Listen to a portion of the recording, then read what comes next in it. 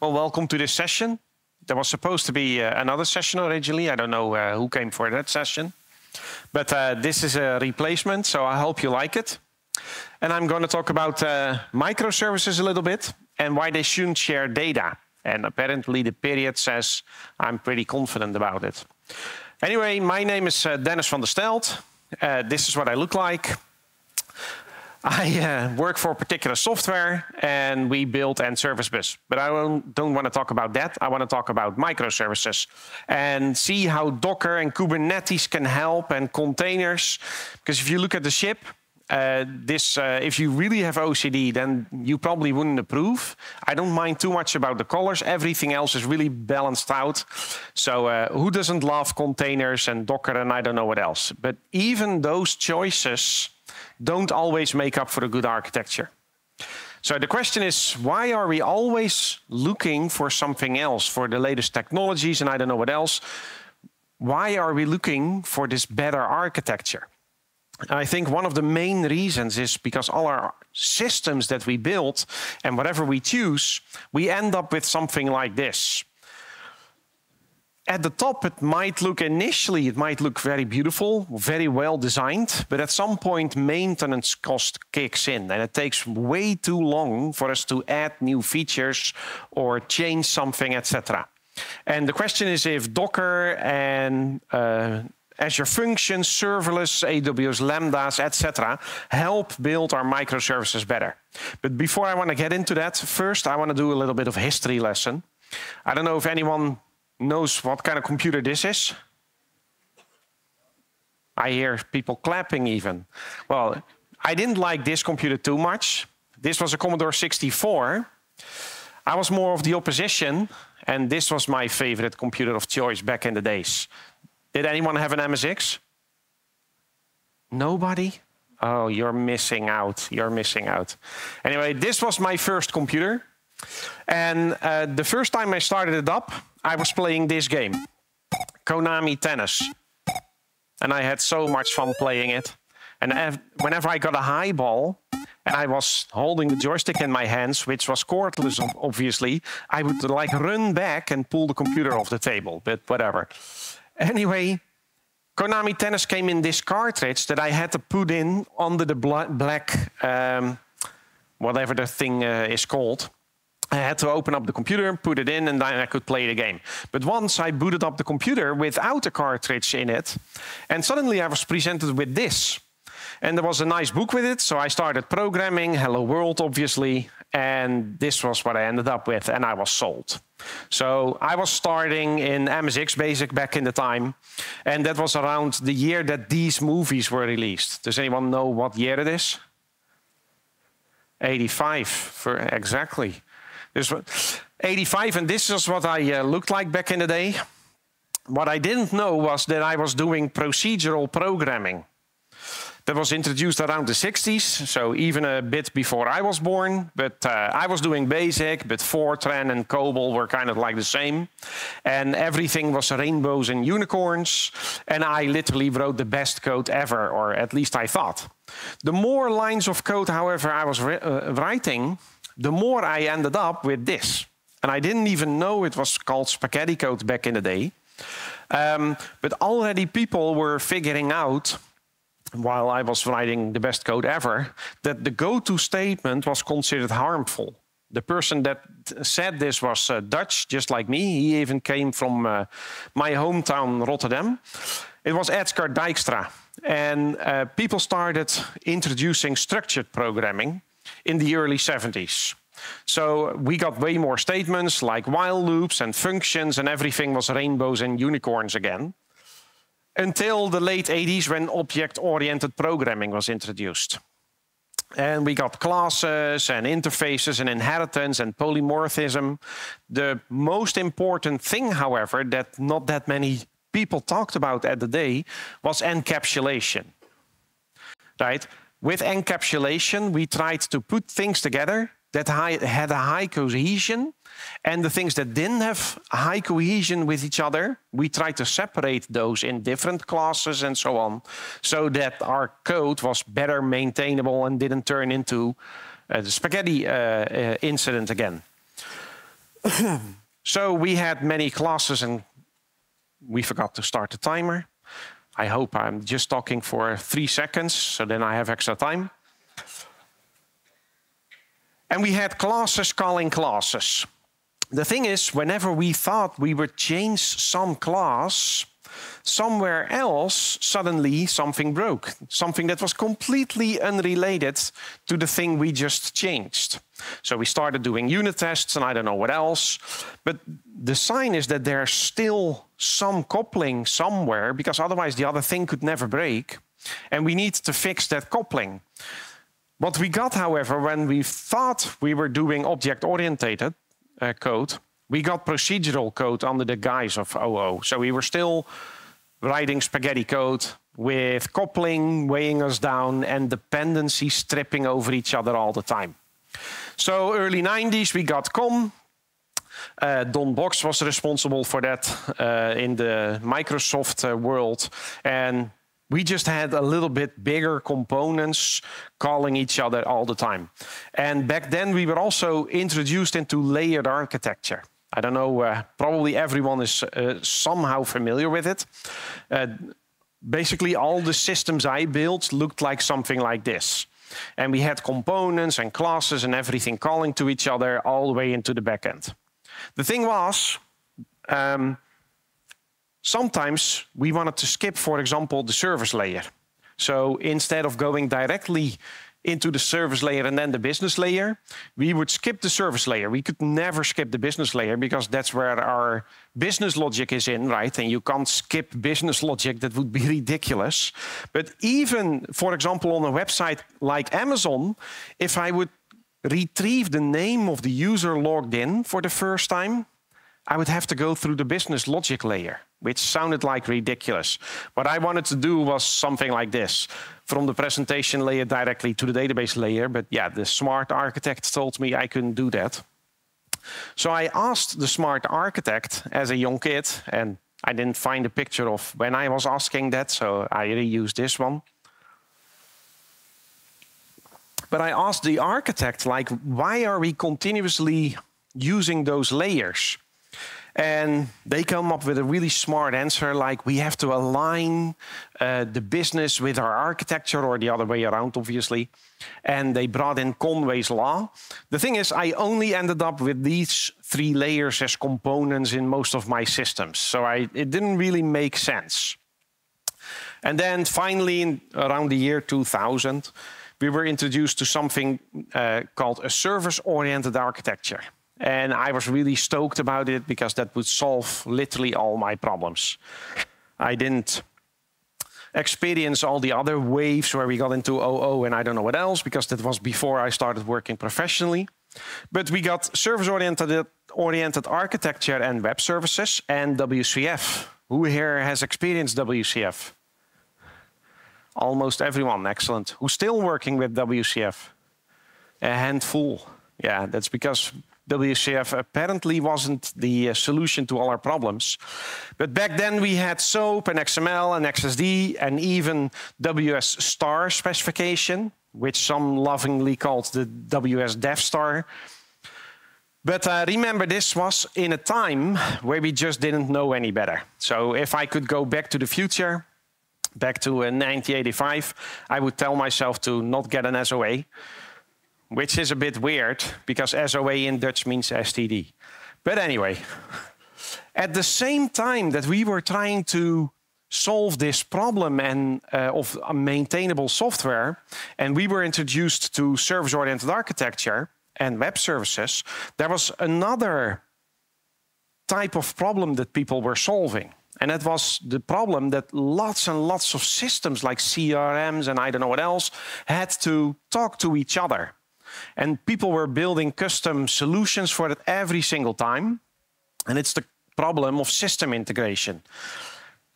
They, we needed a solution for those systems to more easily or standardized to talk to each other. And that was the rise of the enterprise service bus, among other BizTalk Server, IBM WebSphere, and so on. So while they were um, solving this solution, they introduced web services and XML so that they all could talk to each other in a standardized way. And the developers that got introduced to service-oriented architecture, they thought, okay, SOA, service, web services, enterprise service bus, there's the word service in literally everything. This can't be a coincidence. Even though the word service by itself doesn't mean anything. But we thought web services should be something that we should pick up. And that's why we picked up WCF, which was a, a somewhat extended form or uh, a nice framework to write web services. And that's how those two got more or more, uh, more or less aligned. Unfortunately, uh, not that many people are doing web services in WCF anymore. So apparently that wasn't the answer. Grady Booch already said it. I don't know if you know him. He's the father of UML, among others. He said, at the time, SOA is the best since punched cards. He might have been a bit sarcastic because he added what a rubbish to it. The thing is, we had these classes and components calling each other, and now we had web services calling each other.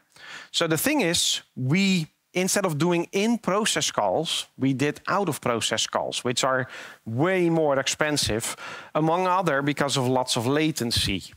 Right? It took so much longer to execute those calls. Another thing about SOA is apparently reuse, which I've always found very funny, because apparently you could build a web service and then reuse that somewhere else. The only example where I've seen this work is when you requested someone's postal code. Other than that, you couldn't really take a web service that you built in the past and take it to another system and say, okay, now I'm going to use the same one here. There was another thing very important about service-oriented architecture, which I didn't really get at the time. It was about boundaries. You couldn't cross boundaries, but it didn't really occur to me what that meant. But that's what apparently should have brought the encapsulation we were looking for. Anyway, initially we had very small classes. We went bigger, bigger, bigger until web services or services. and an example of where I messed up pretty badly when I was introduced to service-oriented architecture. I had to, had to, build an application where users could consult and add data. Uh, that's probably every business application. But the thing is, users and data was basically the only thing there. The amount of data, uh, well, the amount of data was pretty large, but it was only, uh, uh the details were very tiny, slim. So I started thinking about how to build this system. And this is not a young me, but I just like the picture of the guy thinking. And I went to the smart architect again, and we came up with this solution. On the left, users, and on the right, data. And why? Because we were looking at the data and we couldn't really split it up in any way so that we had two services. So we thought, well, we have users and data, let's do that. And then we got a requirement saying some users can only see a certain amount of the data. So I went back to the architect and I said, now I have a problem. Because the user interface, right, I, I had some ideas about what architecture was about. The user interface isn't supposed to know where to get the data from. But if I go into the users, then the users can't access the data because then it crosses boundaries. So what should I do?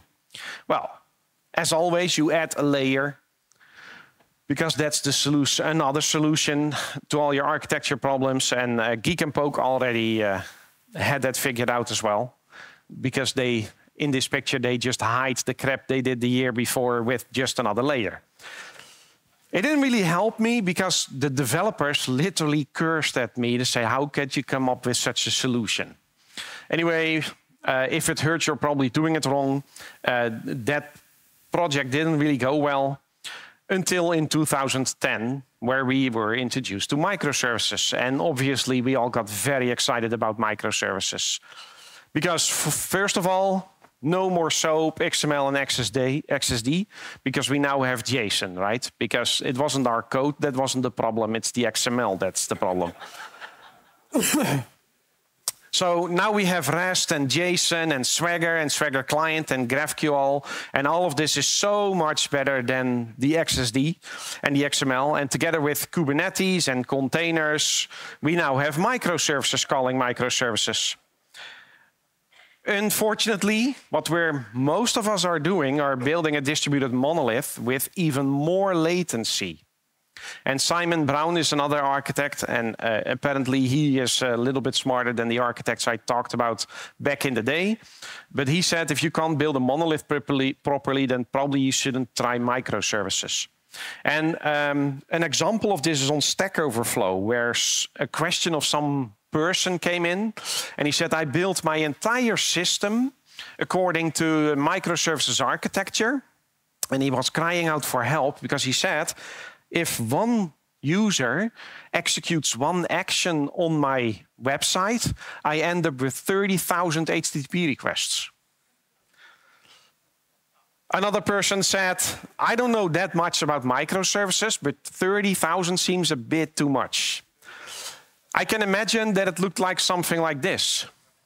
Does anyone recognize this picture? Because it's being used in presentations around the world before. Do you know which company? Because I see you nodding. But yes, indeed. Netflix talks about this architecture. But I have no idea what this says.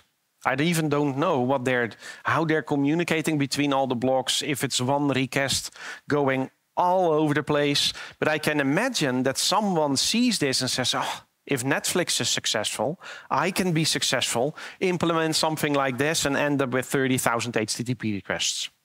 Anyway, if Netflix can do it, why can't we? First of all, they have more resources than most of us. Um, they're building or they're they're creating movies that costs way more than uh, most companies have uh, on turnover. Another thing is they have a very different business domain than most of us, right? So I hope you're seeing a pattern here on things we're trying that don't really work and we need some guidance on how to solve the coupling and whether or not technology is the answer, right? If microservices are the answer. But before I want to get into the answer, I want to debunk some of the myths on microservices. And initially, we talked about they shouldn't have more than 10 lines of code. Well, we dropped that uh, pretty quickly. That's why there it's. Uh, strike through. But the XML versus JSON debate, right? It's no longer a debate these days, but initially people said like XML is so bad, we shouldn't use XML because JSON is so much better readable. The thing is, most of the time I'm not reading JSON or XML. The computer is deserializing it or whatever. The computer is working with it. So I don't think it's a matter that we should be able to read it. Uh, next to the fact that I don't really see a problem with either of them. The only thing is that XML is a little bit more bloated.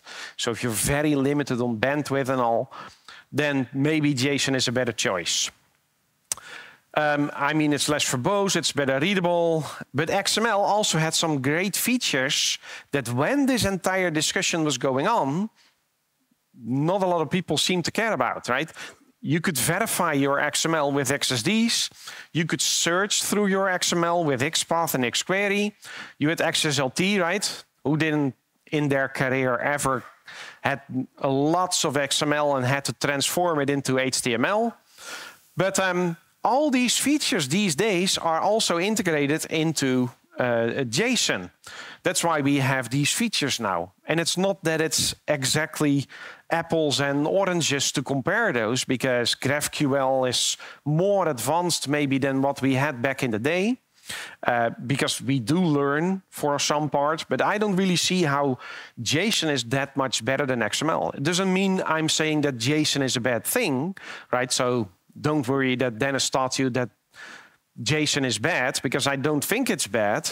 It has its place, and I don't see why XML was that much worse. I know that, for example, if you're a front end developer and you're working in the browser, and you're working with JavaScript or Angular or React, that it's way better to communicate in JSON. Because when we get data from our database, we map the relational data model to domain objects, and then the domain objects to tra data transfer objects, data transfer objects to the view model, view model to JSON, and then finally no more mapping because we can use JSON in the browser. So go JSON. I'm enthusiastic about JSON. But it doesn't improve my architecture. And that's what initially, when people heard about microservices and JSON, they were so excited because JSON is so much better. Maybe it's better than XML in some ways, but it doesn't improve my architecture. And these are just minor problems um, in our architecture and what microservices brought compared to the bigger problems in microservices. And one of the bigger problems is what this other person experienced on Stack Overflow. And that was due to remote procedure calls, right? Every microservice called into another microservice, having to wait for the answer. So why is it bad to call another service? That's because while we are waiting on the other servers, uh, on the response of that service, our hands are tied. So especially if you have this entire chain that gets into an issue. And uh, I don't know if you know Memphis Depay. He's a Dutch soccer player. He already said it. Dependencies are hurting us. But you basically lose autonomy. And why it's bad to call another service, let's get into an example. Imagine you have to buy some liquor at a store and you have your wallet and you want to pay for the liquor. So who decides how you pay for the liquor? Right? Normal people, they would decide, okay, so I have some cash, uh, I have my credit card, I have maybe some coupon, I don't know, and pay with whatever they want. When you start calling other microservices and hand over lots of your data in return or going there, uh, that's probably not the best thing. This guy also did it. He handed over his wallet and uh, he got beaten up and in contact with the police. I don't know if you know Superbad, but uh, it's a funny movie. Anyway, if you hand over your business data, then you no longer have the authority over your own data. And that means that others start making decisions based on what's yours, and that's when you start losing autonomy. That's when there's no proper encapsulation because encapsulation means that highly cohesive data should stay within this encapsulated boundary. But if you start sharing it everywhere, that's when those dependencies start hurting. When you change something somewhere, that something else might break. And what if you shared the data with 300 microservices like the Stack Overflow person and the data is uh, incorrect? You don't know who copied your data, who stored it, which services queried your data, and invoices might have been calculated, payments might have been processed, some customer might have gotten preferred status, all based on your data, which you are now no, no, no longer autonomously responsible for. So if everyone can just query your business data via some API or whatever, then at some point in time you'll be looking at your architecture like this and have that maintenance nightmare again. And I'm not saying don't use RPC anywhere, right? I've been talking to people about other forms and then they start doing everything using the other form, which I'll talk about in a bit. But how are we going to query our database without remote procedure calls? And that's just one example, right? I don't want, if you, I want to display the name on the Amazon uh, website that says my username is Dennis or something, I need to query it from somewhere below. So there are definitely options or places to use RPC, but there are also other options. Anyway, things calling things, coupling ev introduced everywhere, and RPC doesn't improve the coupling and cohesion. So don't start calling microservices all over the place. Deployment of microservices is another thing. I read this really funny remark somewhere. Um, that talked about uh, operational agility in repeated deployment and I don't know what else, uh, because that's apparently what microservices improved. Um, because probably deploying 300 microservices is easier than deploying one monolith, especially if they also have their own storage technology. right? Because you have to update schemas or documents or whatever. And even so, if you have all those microservices, it's just like the classes from back in the day that we can easily take out one and replace it with another one. But even with a small number of lines of code inside one of those microservices, it's still a total rewrite of one of those services, classes, or whatever. And you might introduce bugs without knowing it. And it's even harder to test because with OO we had unit tests. Now we need to do integration tests or whatever. And that's because there's coupling everywhere. Now, there are people who obviously love microservices, and that's the operations department, because now they have to deploy, maintain infrastructure, monitor all those microservices, but 300 times over, so they get way better tools, which is nice for them.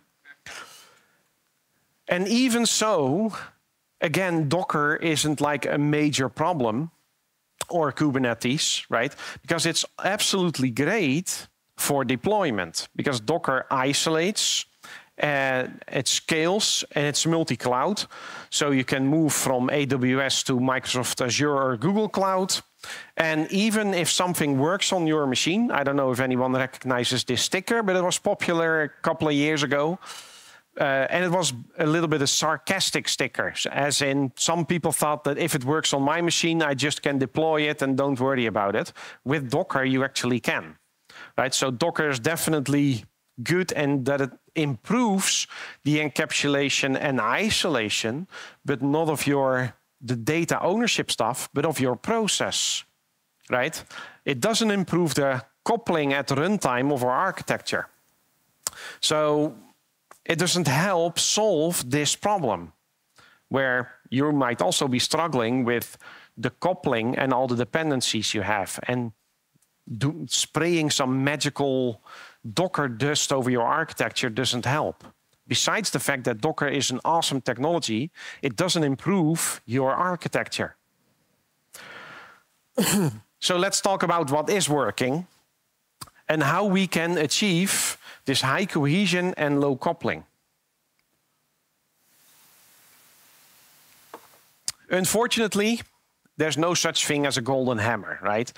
There's no technology that can just help you. The people that have to solve this or the solution to the problem, I misspoke, are the people in this room or at this conference. And we have to take a few steps back and look at those boundaries that were promised like uh, two decades ago and look at how we can solve the encapsulation. Because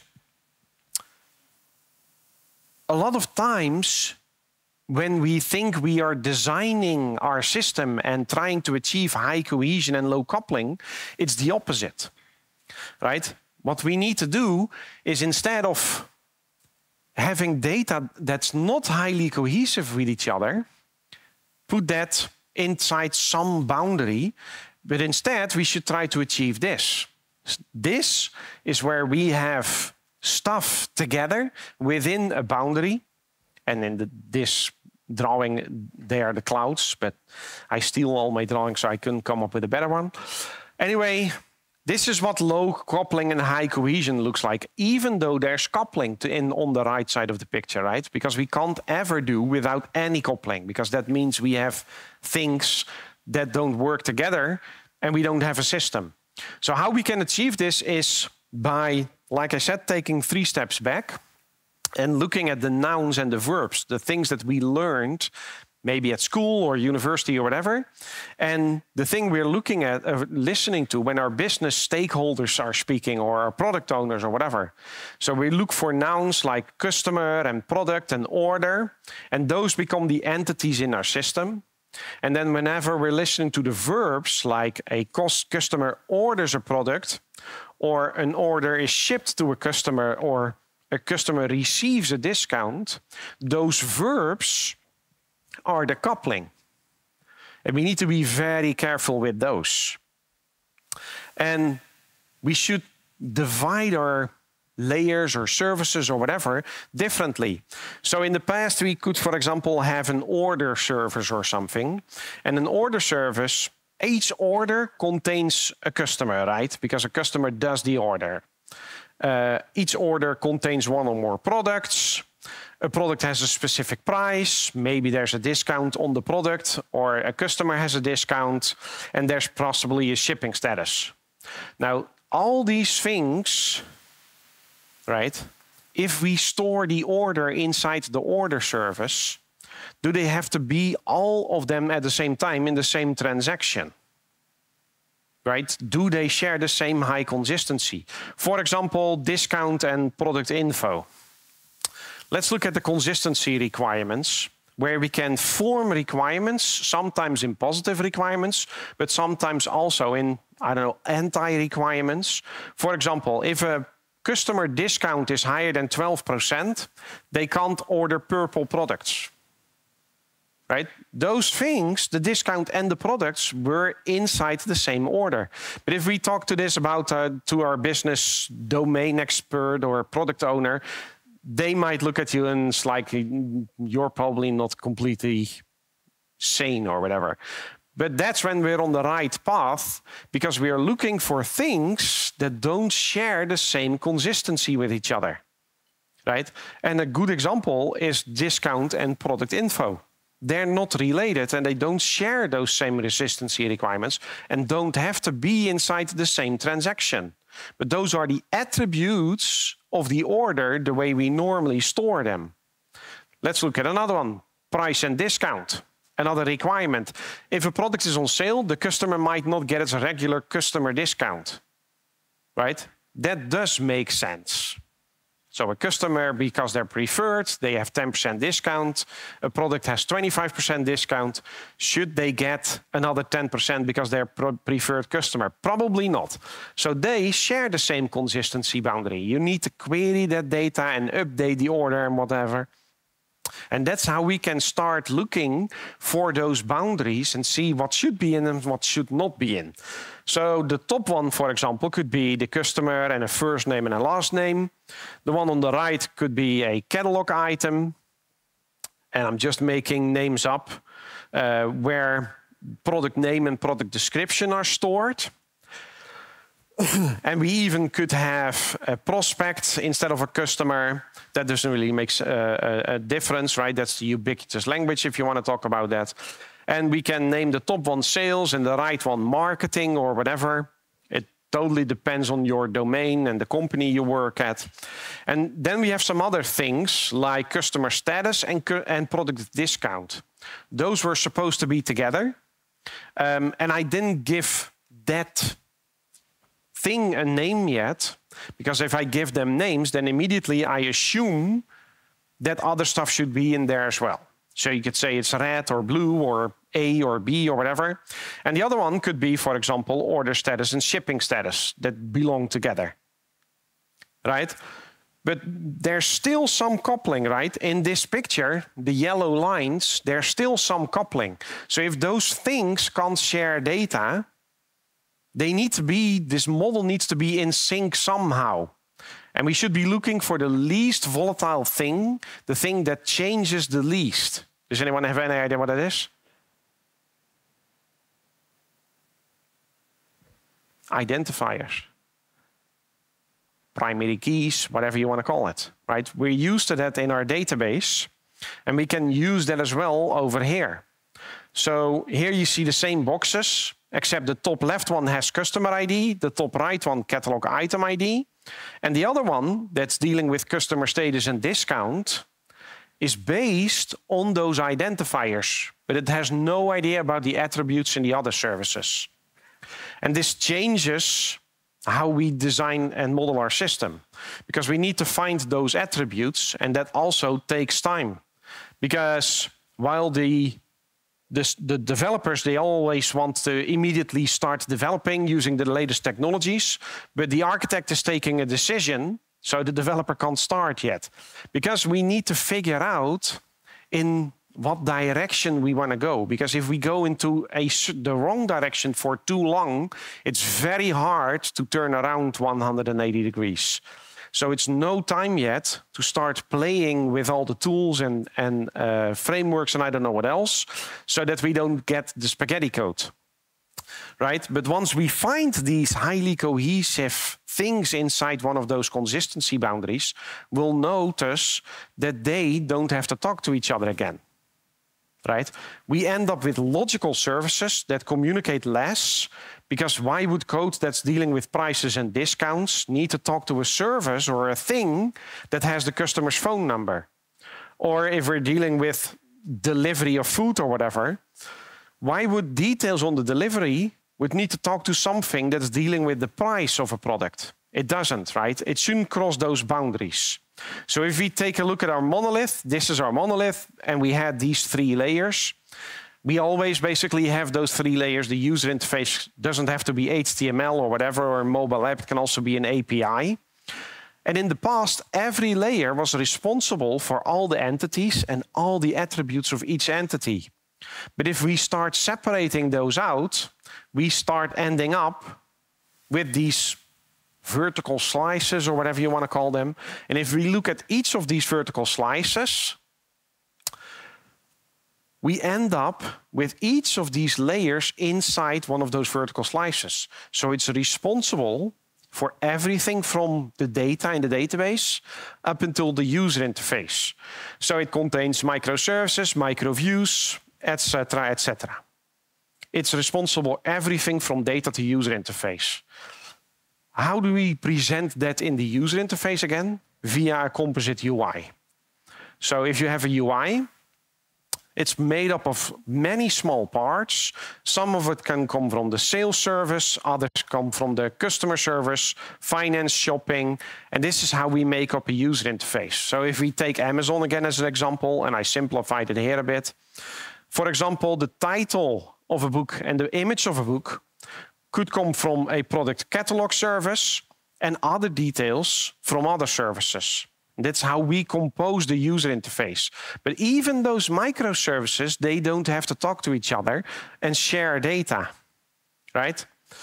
One more thing, we had uh, functions, classes, components, and we grew larger and larger, and then back to the right to microservices again. And these days, it's funny that we have Azure Functions and AWS Lambdas.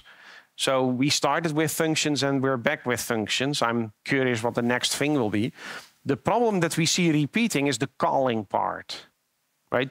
All those microservices shouldn't call each other. And um, some other guy already mentioned it with a name that's hard to pronounce, so I won't try it. He said we need inversion of communication by supplementing service-oriented architecture with an event-driven architecture. So if we do that, because services can't call each other, and they still have to be in sync, we can do that with publish subscribe without sharing business data so that we don't cross the service boundary, right? However, our events are very small. So there's never an order shipping address that I'm publishing. Instead, I'm publishing order accepted with just an order ID. So if I publish order accepted, the other thing might think, hey, it's accepted. Now I know how to invoice it. I don't know the name of the product. I don't know if it's in stock, but I do know the price and a possible discount. So I can invoice, and all based on just a single identifier. Right? Because why would we communicate the address if no one's going to use it? And why communicate price and discount to something that is aware of the phone number? It doesn't. We need services that are the technical authority for a specific business capability. Another example with another service, it could also receive order accepted, but also order paid. And then once it knows order paid, it knows it can ship the order. Again, it doesn't know the name of the product, also doesn't know the price, but it does know the weight and the size of how to ship it inside containers. So we always end up with containers again right? And I do know the shipping address because I'm the technical authority for this business capability. And I said it before, one more thing, time is running out, so I need to be fast as well. If I publish customer became preferred with an identifier from invoicing to shipping, right? Shipping doesn't really know who made the customer preferred, and more importantly, it doesn't know why the customer became preferred.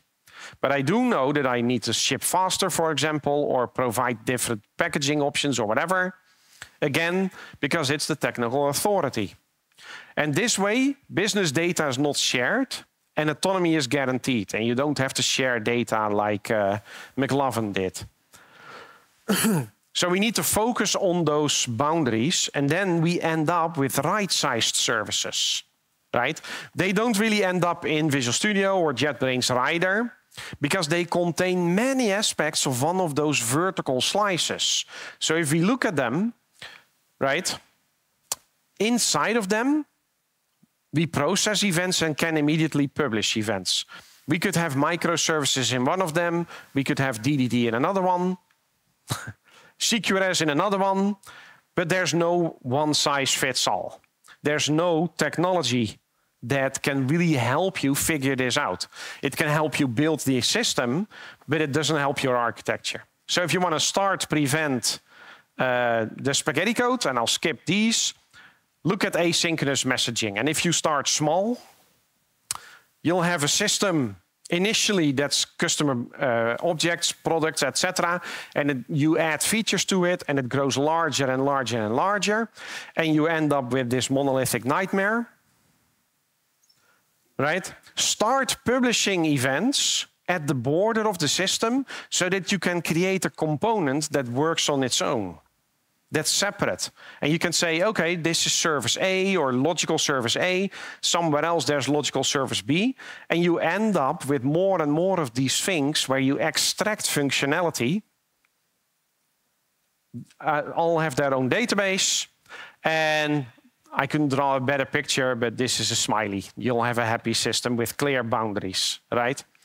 You shouldn't roll your own framework because uh, when you start using messaging, because uh, you can, there are random frameworks available, and this is just one of the random frameworks. If you still want to build one of your own, watch this video. I'll give you the link later. In summary, and I'm ending it really fast now, microservices is an attempt to uh, reclaim the core meaning of SOA. And we should look at those boundaries and use public, publish, subscribe, and an event-driven architecture to achieve autonomous microservices. Or not microservices, but logical service. Skipping this as well. So we end up with high cohesion and low coupling. And I think microservices is SOA done right. Thanks for watching my presentation. If you want to know more, I did a presentation on eventual consistency where I go into this messaging and how you end up with eventual consistency and how that can pose a problem, but how to deal with it. I have a presentation later where I go into more of this composite UI thing here at Øredev at three o'clock. My name again is Dennis van der Stelt. Thanks for seeing me go through lots and lots of slides.